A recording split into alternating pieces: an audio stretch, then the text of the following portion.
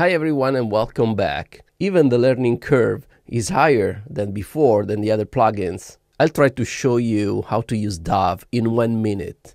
Let's go. The most important knob are reduction and range. We have a song with no intervention, but as we see, something is happening when I start using range. The darkest curve start working, but without affecting the sound. Because there are no reduction in sound. This is the main part of the dynamic compression and there are differences when I start tweaking based on which kind of style I'm going to use it. VCA, from Vari-Mu, diode, etc. etc. So the best way to start using DOVE is focus our attention on delta. As I explained in the video before, delta is the most important button here in this plugin.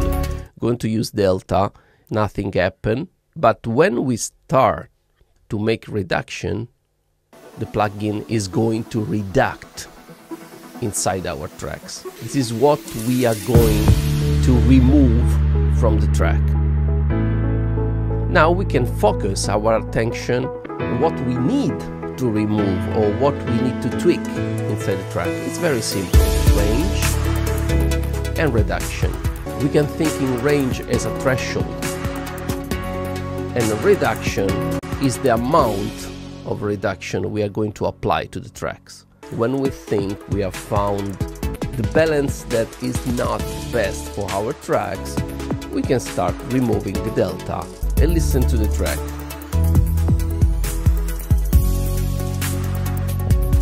It's more darker because we have removed all the medium high frequencies and we can do it darker and darker. Same for the low frequencies. If we want to involve the low frequencies, just move the EQs to intercept all the bands of this EQ. Or if we want to concentrate on the bass, on the low frequencies, just moving the high pass filter here and we can start removing the low frequencies.